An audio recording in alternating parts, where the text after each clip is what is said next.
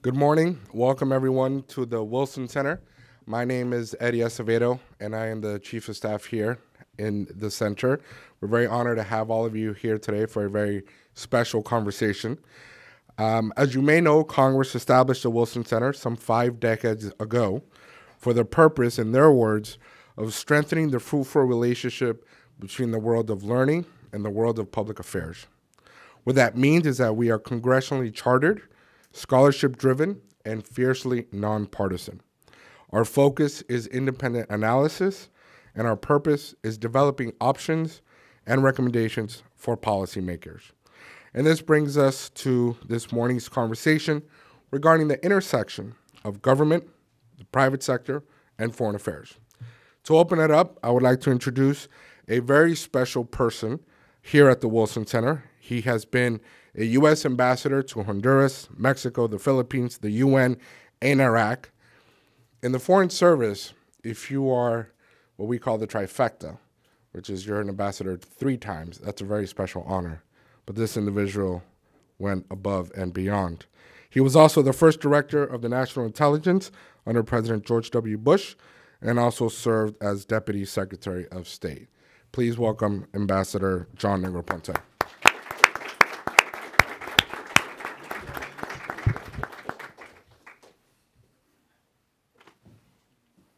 Thank you very much, Eddie. President Duque, good morning.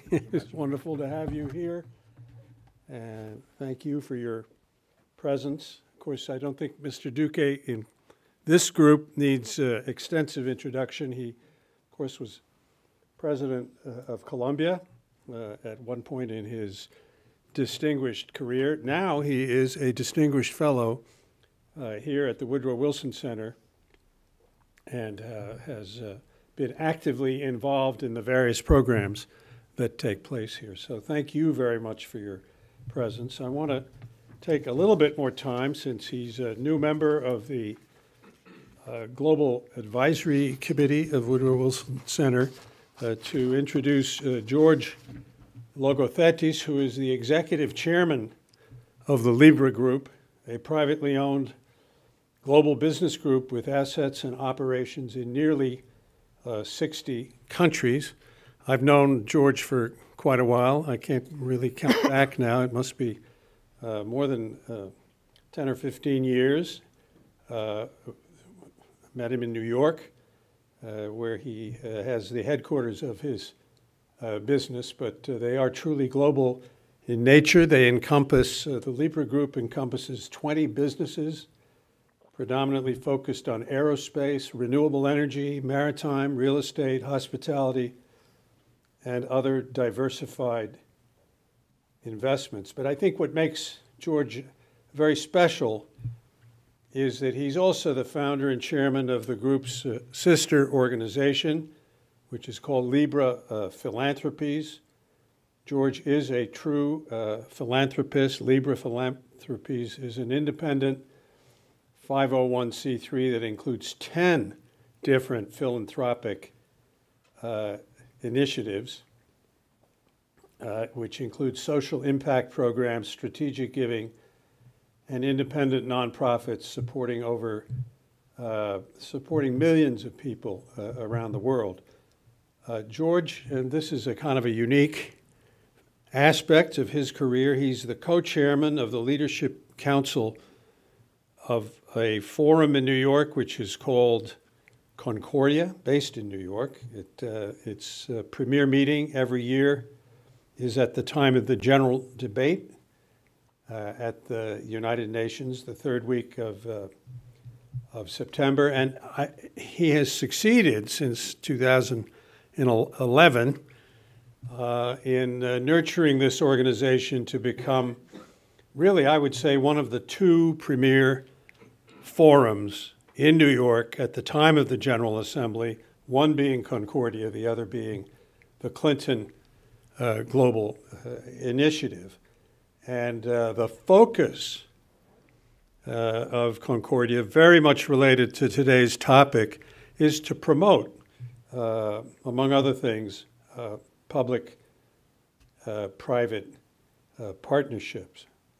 Uh, George is also a uh, member of the board of directors of President Barack Obama's My Brother's uh, Keeper, among other uh, important organizations. And uh, again, something I really would like to highlight in, in 2013, George and his wife Nitzia Logothetis founded the Seleni Institute, an independently run clinic and nonprofit organization which supports individuals and families who have me- mental and emotional uh, health issues uh, during um, family building years, especially uh, after uh, pregnancy. And uh, herself, George's wife, is one of the psychologists practicing uh, at that very institute. So I think you have a very well rounded and interesting gentleman here with you today uh, to talk with uh, President Duque, Duque, who I think really does have a lot of experience in the whole area of public uh, private relationships. Thank you. Well, thank you so much, Ambassador. Thank you so much, Ambassador Negroponte. It's always a pleasure to see you. Thank you so much, Eddie. George, welcome to the Woodrow Wilson Center. Welcome to uh, this amazing Think and Do tank here in DC that was named on behalf of Woodrow Wilson, a leader that believed in peace, in democracy, and that worked very hard to creating an international governance for global peace. I am very pleased to be here this morning with you, and I also want to welcome you to the Global Advisory Council of the Woodrow Wilson Center. This is an event where we're going to talk about geopolitics and the private sector, but we're also going to talk about philanthropy. And um, as Ambassador Negroponte pointed out, pointed out in his introduction, when we see what you have achieved in life, you will see a lot of success stories, challenging times. You took uh, the leadership of Lomar uh, Maritime uh, when you were 19. At 28, you had turned it into Libra Group. Now you have presence in 60 countries. And if there's one word that defines you is optimism. When many people see very gloomy pictures, you're always the one who's making the big bet. And that has been a significant part of your success. You have also endured many tests uh, in your life, and we're going to talk about that. But I just want to start with one thing. We have a global panorama full of challenges and conflicts, and many people love to paint the, the, the gloomy picture of the world. What makes George Logothetis so optimistic, and what makes George Logothetis so optimistic in terms of investing, but also working philanthropically in the global south. Well, you've set the bar very high, both of you. Uh, so thank you for that. And thank you, Mr. Ambassador. And thank you for your friendship with my father in law, which he cherished a lot. Uh, Mr. President, thank you for everything that you've done, do, and will do. Um, thank you for hosting us in Cartagena last week. Uh, this helped change the life of my family from within, as you know. Um, before I answer the question, I just want to say one thing. As I was coming here, um, driving down, I came to Washington, D.C. 20 years ago, this month, for the first time. And life is a funny thing, as you know. Uh, known unknowns are known unknowns. What did I do that first time I came here? I went to Arlington National Cemetery. That was my first time to the rebirth of democracy. Birth in Greece, rebirth in the United States. And I watched the changing of the guard when I was 29 years old, 20 years ago this month. Changing the guard is in front of the tomb of the unknown soldier. Tomb of the unknown soldier mm-hmm. has the first dead soldiers from World War One. World War One was won by Woodrow Wilson, and here we are at the Woodrow Wilson Center. And as I'm sitting there reflecting on life, I think to myself, you know, what was my grandfather doing when he was my age to the week? I started to play back. And I thought, my goodness, he was in El Alamein, in a tank, firing at people that he didn't know, killing. And it put life into perspective for me. So you, you're there, and I would urge anyone that has not been to Arlington to go. And you, you seek solace and gratitude and thanks be to God for us being blessed with the freedoms that we did not earn ourselves, that were granted to us by people that came before us. And here we are, 20 years later, at the Woodrow Wilson Center with the former president of Colombia, talking about optimism, and I would add gratitude as well. So bef- that's what, this is a ver- this is quite special for me to be here. that's what Thank I want to so say. much, Okay, thank you. Optimism. Well, Mr. President, the first memory I have of being alive in this world is dying in an intensive care unit at the age of two and a half. It, I had meningitis. It was very bad. It was uh, lethal. I was not expected to survive. Um, the odds were against little Georgie boy. My parents were in a distraught state, obviously, as they would be. By the grace of God and by the luck of the draw, I survived. But what it did for me was many things. It created a 34 year long health crisis that was invisible to the world, but very visible to me, very visible to my mother, very visible to my family. And I would spend many, many weeks of every year unwell. And I don't mean unwell, oh, I have a cold. No. I mean unwell, pneumonia, whooping cough, uh, hospital, immune system deficiencies. I never felt unhappy about it. It wasn't something that I looked at. At the time, you don't know what you don't know. If you're five years old and you spend your life going to hospital, you have no perspective. What I knew is I was loved by many people. And that unconditional love that was injected into the soul and the, the body and the organism of that child, um, I think made me optimistic. Um, I think that you can suffer and you can endure in life and you can go through great pains and great tragedies. But if you have love, gratitude, a reflection of history, um, you can still be optimistic. And at the end of the day, it is a choice that we make to be optimistic or pessimistic. And I prefer to be optimistic, just like you do. It's a, it's a happier life. At the end of the day, if you, if, you, if you live with gratitude, you have the seeds of happiness. If you have ingratitude, you can't be happy. How many people? How many happy people do you know that wake up and are ungrateful? Oh, what I don't have, or what I, what I, what I, not what I would like to have, or what I'm happy to compete to attain, but what I don't have, as opposed to being grateful for what one does have and fighting in the correct way to attain what one doesn't have. So that is a very powerful reflection, but that takes me to something related to your roots mm-hmm. and your beliefs. Yeah. You were born in the UK, but your family is Greek. Yes. You carry the Greek principles on a permanent basis, and those who, like me, are your friends, always listen to one word that you love to to put in every conversation regarding politics, friendship, uh, philanthropy, uh, investment, and it's philotimos. What does philotimos means to you, and how would you define philotimos for this group that is with us today and the people that are watching us online as a guiding principle for building successful private public sector relationships? Uh, well, thank you for recognizing it. Um, for we cannot be grateful for what we're not aware, right? Um, so philotimo is there's no literal translation from Greek into English. The best translation technically is the love of honor. It is giving more than you get. It is loving life. It is treating people with respect, even if you are not treated with respect. It is being decent and taking pride in being decent. It is overcoming adversity with a smile on your face.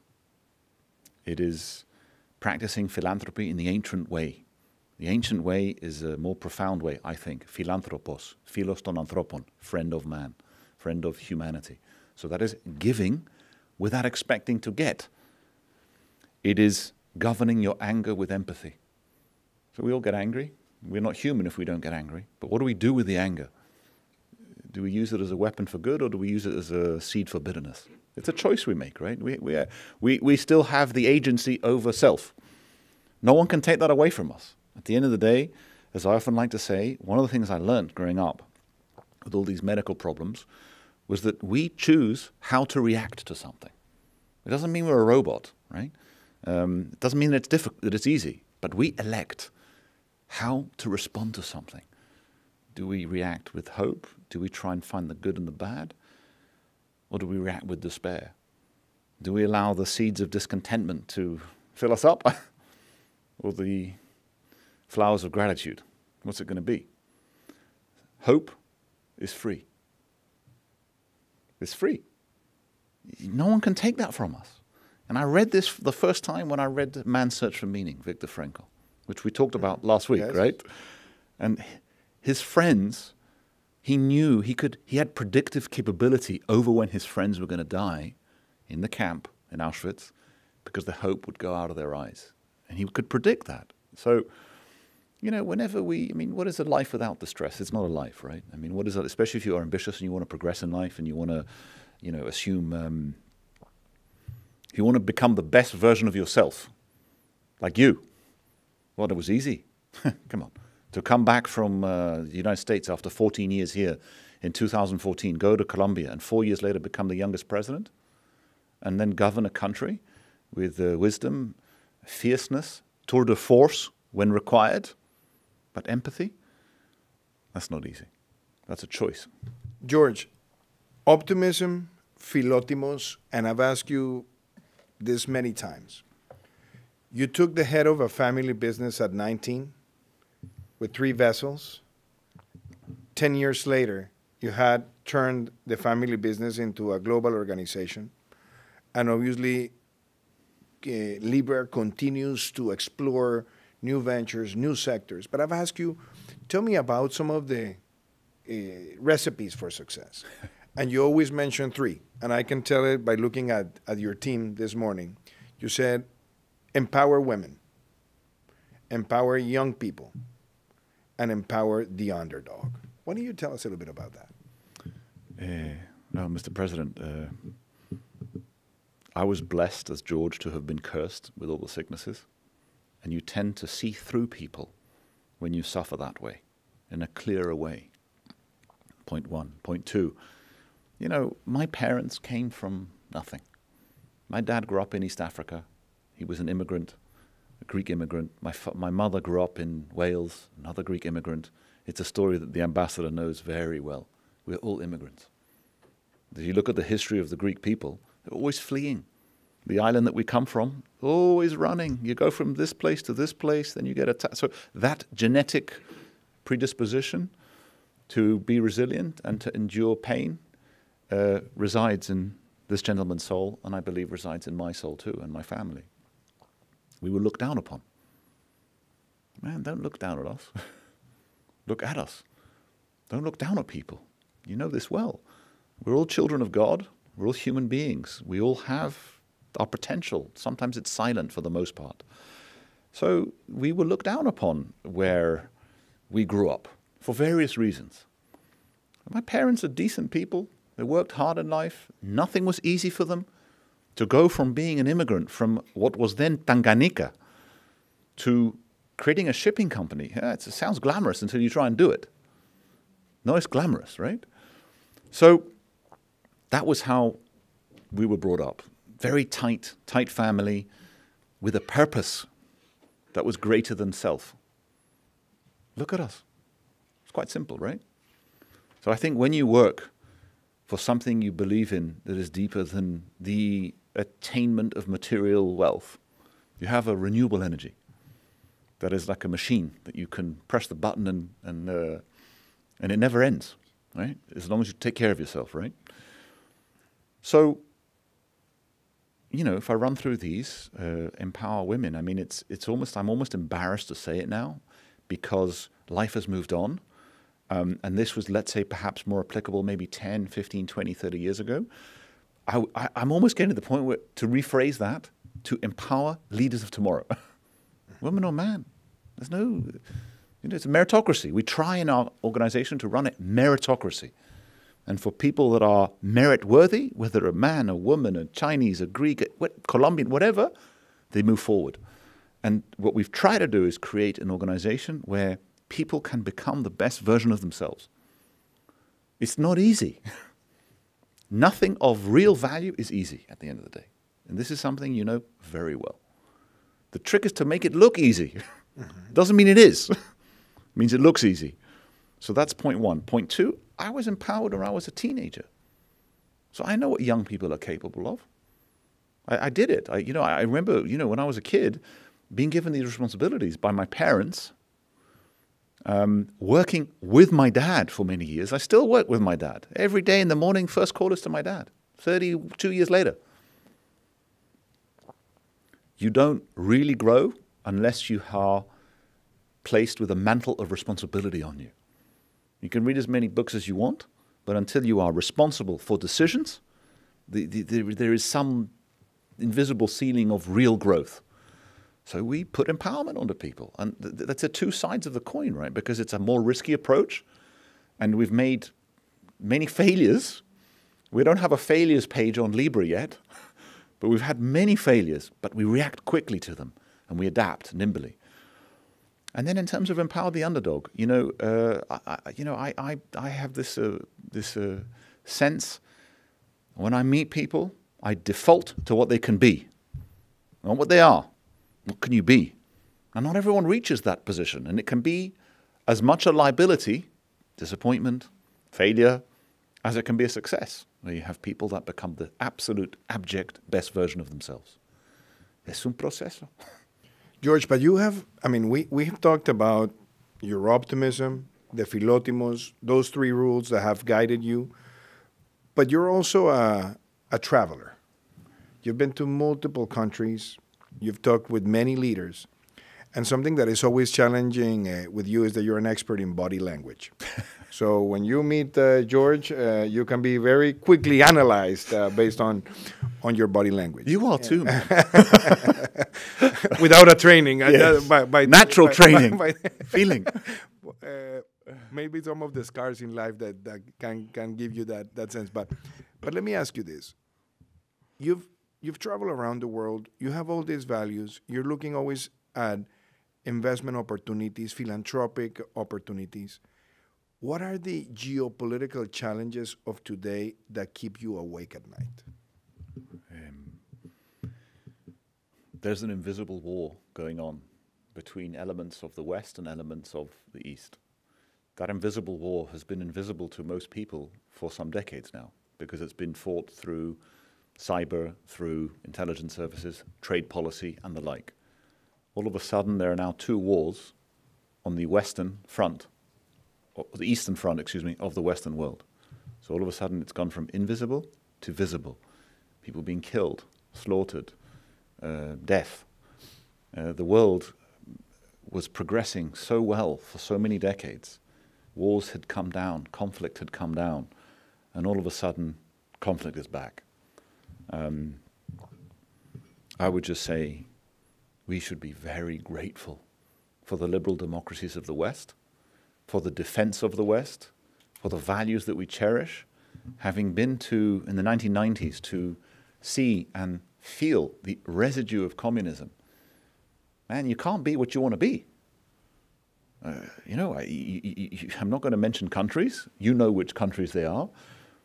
So Ivan wants to be president. No, Ivan will be a teacher. No, I don't want to be a teacher. No, you will be a teacher. So things that are very basic that we take for complete granted uh, because we didn't earn those freedoms. Those freedoms were passed to us by people that came before us. Um, and you go to Arlington Cemetery and you see it live.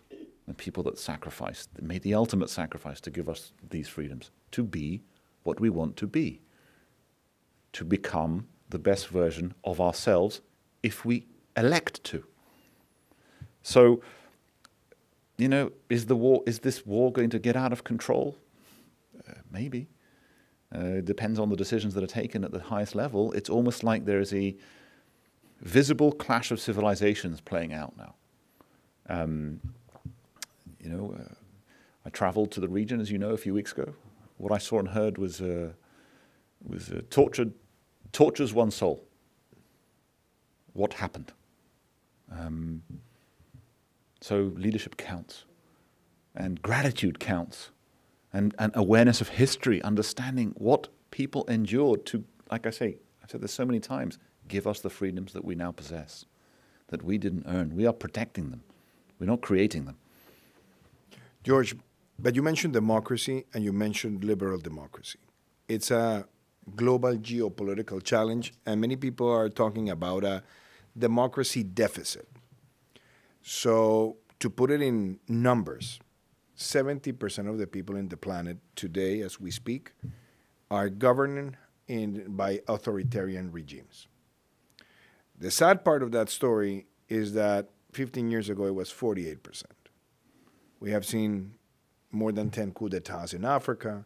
We have seen uh, democracies turn into dictocracies and then into dictatorships. And many people take democracy for granted.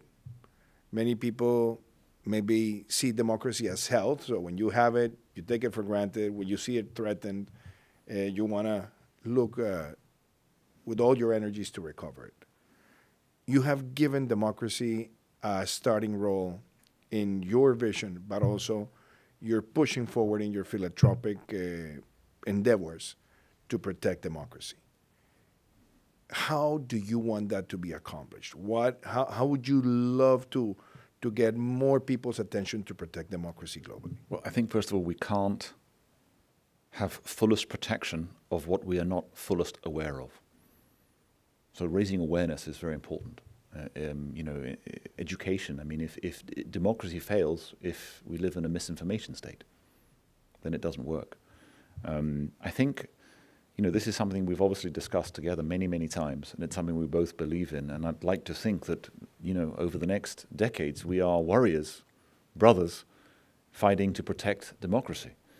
Um, you know, we are going to be setting up a program that is a, has specificity with regards to the protection and the uh, raising the awareness of what it really is, because it's almost become a cheapened word. Mm-hmm. Until you go to Arlington, until you stand by and you watch the the the, the uh, changing of the guard, until you recognize that the United States saved the world three times in the last 110 years: First World War, Second World War, Cold War. So I, I go back to understanding history. Um, often in life, uh, the greatest liability from within a tribe can be the lack of perspective from without that tribe. So, for example, where were we last week? We were in Granitos de Paz. Mm-hmm. Okay, this was a very moving experience that we both had. And if you go back to that two minute period when you had the five young kids talking in front of 50, 60 people about what their history is, where they've come from, how they've evolved, how they've gone from being 13 year olds with guns to reformed 13 year olds with guns, taking them out of that village and bringing them to It Takes Courage in Panama, that is exposure. That is a, a, a, you are arming people with gratitude. You're arming people with a force of nature, tour de force. So exposure, awareness, gratitude, uh, understanding, you know, being aware that our lives are more invisibly controlled through algorithms than we even realize. How do we take information in? You know, if, if, if, uh, if we, you know, you should go to Nitzia's Instagram feed. It's all about uh, babies and postpartum depression, but that's all she gets. So that's a limitation in the ways, unless she's aware of it and she makes active measures to diversify that. She is aware, but many people are not. So, in many ways, Ivan, we are, we are more visibly connected than ever, but we are also more invisibly disconnected than ever. So, um, again, it starts with, with great gratitude, being aware. Me standing in front of the changing the guard and thinking, my God, my grandfather was 29 years old when I was 29 years old in a goddamn tank, firing. And you know something interesting? In the 1990s, uh, when I was the head of our shipping business, it was, all, it was what we had at the time. I had a meeting in Germany in the late 1990s with a banker. And this banker, and in those days, one couldn't really talk about the Second World War with a German. It was, it was different than it is today. So I plucked up the courage to discuss with this German banker who ended up becoming my very good friend. He ended up becoming the CEO of Lomar. He ended up dying prematurely. He ended up with a balcony at the United States Institute of Peace named after him. This started 20 years ago, 25 years ago. I said, Achim, let's just take a step back, man. My grandfather was in a tank in El Alamein. He's like, George, my grandfather was in El Alamein too. I said, I am unbelievable, man. Here we are today. I'm talking, I'm trying to get money from your bank. And our grandparents were shooting against each other to kill each other. They didn't even know who they were. Probably if they met each other, they'd become friends. So that's where the, the, the importance of history and understanding the roots of it all are so important. We can't fix what we're not aware of, Ivan. But you also, you have also mentioned something that is very important in the context of geopolitics and democracy mm-hmm. as a challenge. But you mentioned something, the power of algorithms. We're going to have in 2024 maybe the year uh, with more people going to the ballots ever in times of manipulated algorithms, in times of misinformation and the power of misinformation. But you're also a believer and an optimistic about the usage of technology for humanity. But I want to maybe drop something for your consideration and, and, and discussion that we've talked many times. Do you think artificial intelligence can at some point affect with the flow of misinformation and manipulated algorithms affect democracy and make it artificial democracy by trying to infuriate people and not allowing the power of the human for the liberty to choose. Uh, I fully agreed, agree with you, and, and you are the you created and coined that term. Um, it's a superpower today in the wrong hands, and you know uh, the enemies of the Western world train up people that are very smart, put them into a room, give them a mandate. You have people with an IQ of 160 uh, pretending to be a young woman from uh, Iowa. and it's very convincing. And people don't know what they don't know. Um, so I think it's a real danger. And you go into, I think also one other point to make is that COVID had many visible effects, which are clear, but also invisible effects, in that COVID severed human interaction in an artificial way. So, you know, the reconstitution of social interaction is different today than it was before COVID. It's just somehow different. It's like technology took a disproportionate mortgage over us without us even realizing because of COVID. From as simple as my kids, they don't go to school.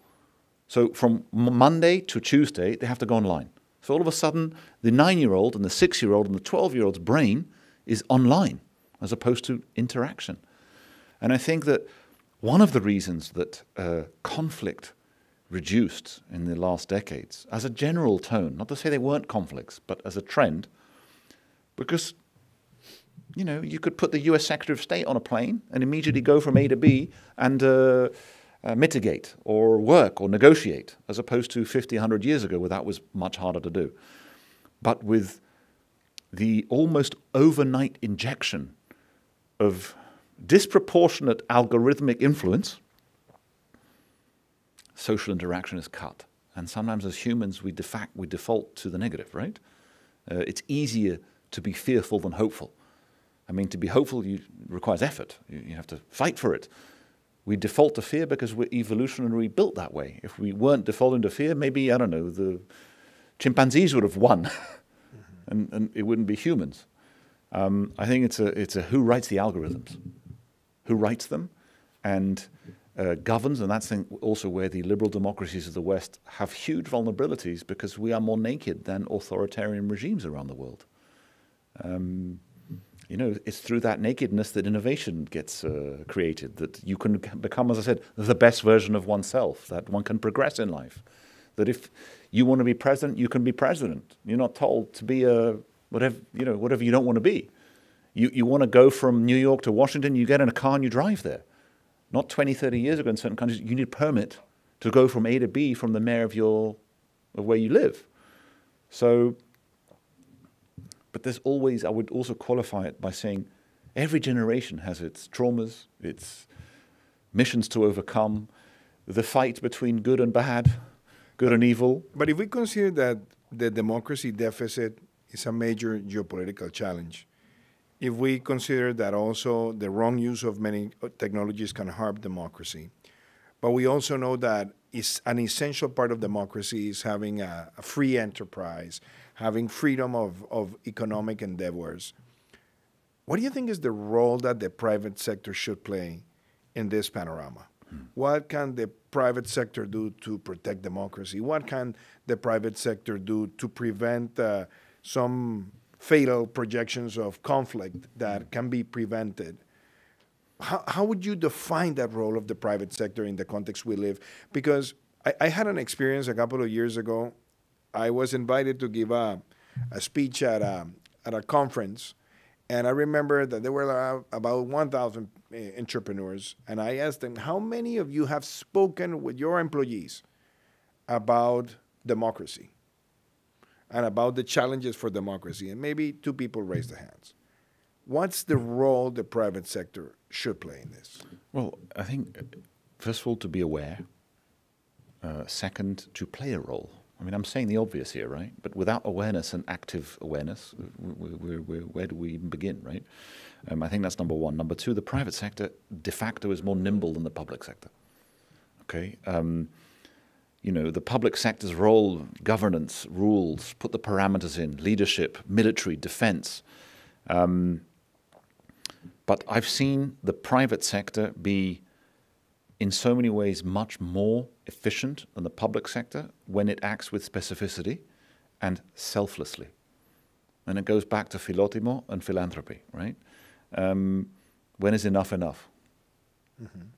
We had this uh, philosophical debate uh, last week extensively, right? Um, you know, uh, awareness. I mean, at the end of the day, uh, going back to history, uh, reading, you know, how, how even teaching parents about the dangers of social media to create awareness. I mean, you know, it, it, it, hurts me when I go to a dinner and I see a family of six people on the phones. No, speak to each other. you are severing the human connection, and that will have, it's a visible thing that will have invisible impacts. So it's almost like a dehumanization approach that has happened. And I think you know, sponsoring programs, leading by example. You know, I, I, one of the things, uh, uh, Mr. President, that I, as, as George, and we as our organization are very proud of is the work that we did in Greece during the Greek crisis as a private company. Why don't you tell us a little bit about that? well, you know, it started by being angry with how Greeks were viewed because uh, what we would see is people full of potential is what I said before that for me I look at people and default to what they can be. So I, I see I see this sort of uh, belief deficit that was going on, especially with the young people, and the the lackadaisical approach that was being taken by other people of prominence. And when it comes to giving, yes, money is one thing, but in some ways more powerful than money is example, is advice, is leadership, is belief. I mean, if there's a deficit of belief, okay, put money in, but the money can get lost in the river of nothingness. If you put belief in and you put a few drops of belief, all of a sudden you change the course of the river.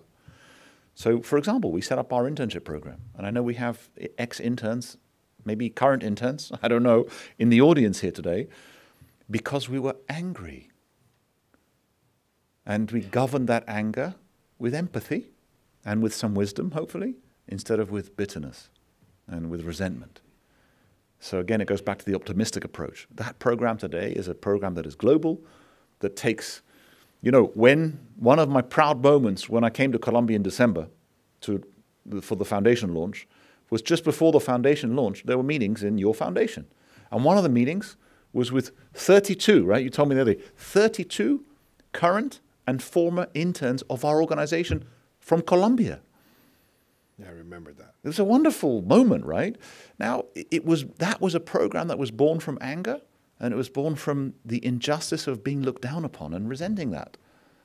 So that's one example of how the private sector in a country can help change the education of that nation by bringing people out of the country, where the country at the time was full of social and economic oppression, empowering them, showing them another way, and then sending them back.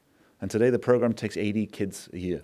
That's a that's a, a beautiful, beautiful example, and I always get not only motivated, but I always have a, a personal impact when I see those stories and those people that have changed their lives. I got a message that we uh, we're getting to um, a few minutes, but let me ask you three things rapidly, George. I'll go scale by scale. First one, I love what you have in your hands. You have uh, the aseguranzas.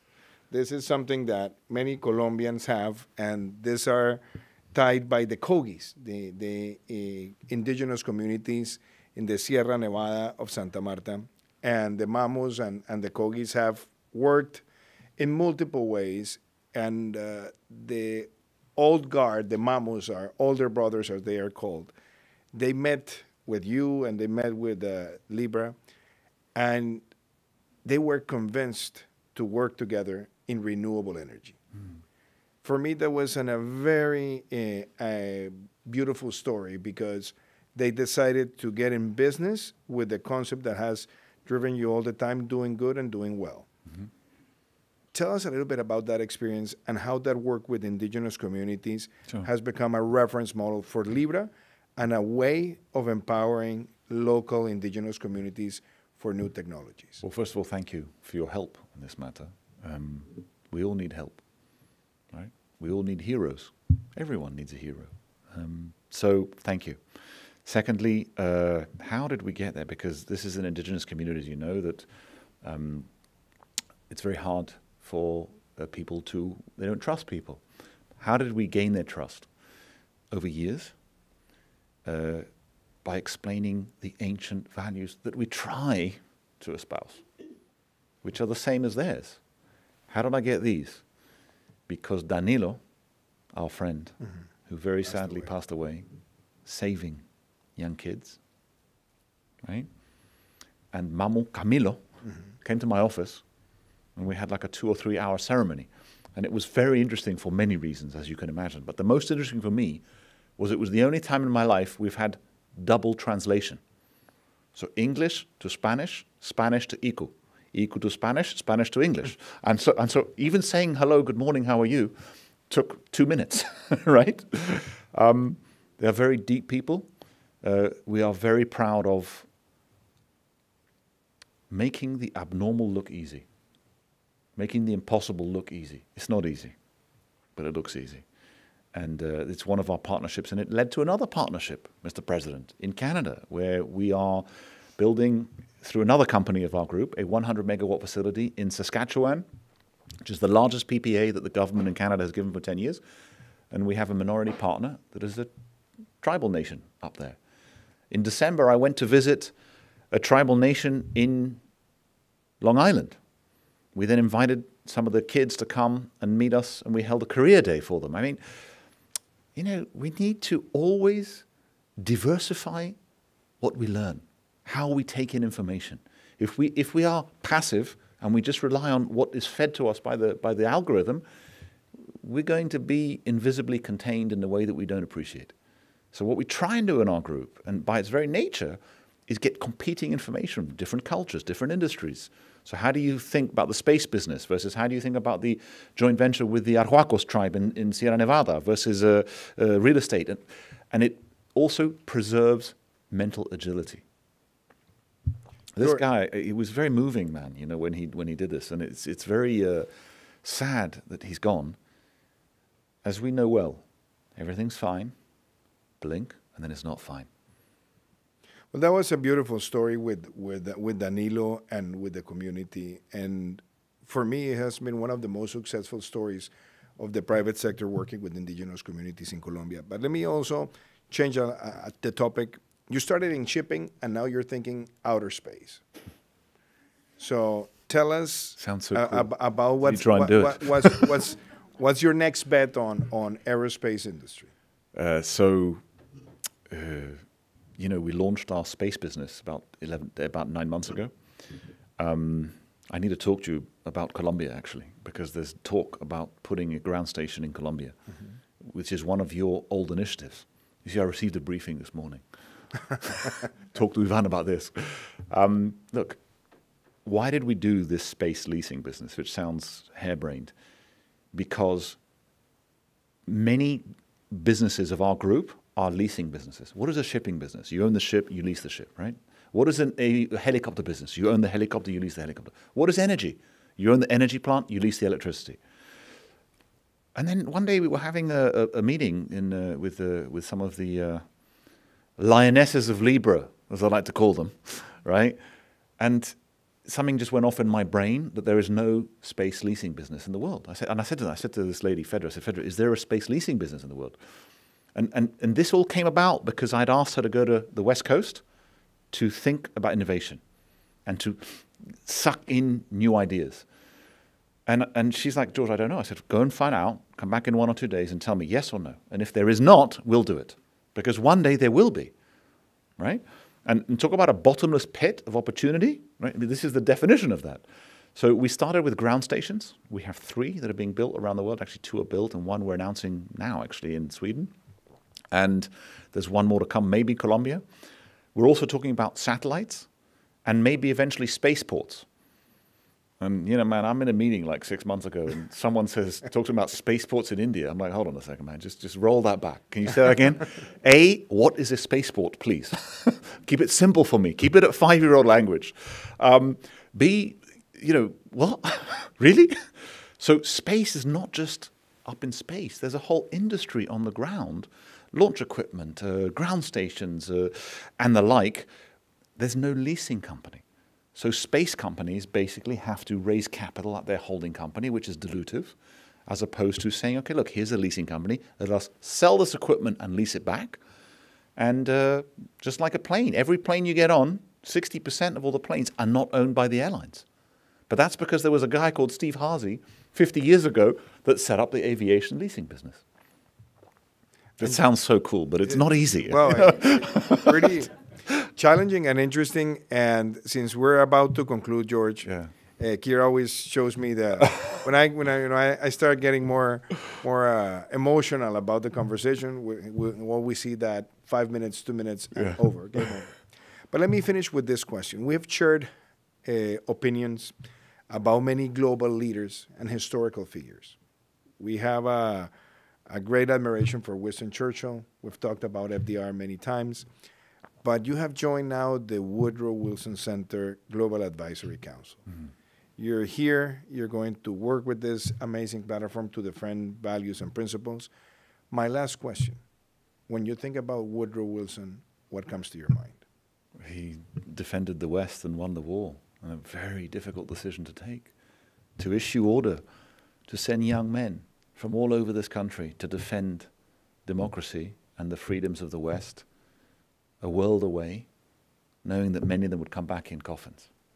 But if he hadn't done that, if he hadn't done that, when the Treaty of Brest-Litovsk was signed, and Germany, having gotten Lenin through into Russia, having brought down Russia, having made peace, they sent two million men on a train from the Eastern Front, the Western Front. And if the American soldiers had not come, the West would have ended, as we know it. Point one. Point two, as to end. You want to end on emotion? One day you'll come to Long Island. Okay? And when you come, I will take you to the park where we would take our children when they were young. They don't go to the park anymore, right? But they did one, once upon a time. And we would go every weekend. It's a beautiful park. There's geese around, it's sunny, beautiful. Next to the park is the memorial for all the soldiers who died in the First World War from Southampton Village. Every time we went to the park, after the park, we'd say, Right, boys and girl, we're going to go and pay our respects.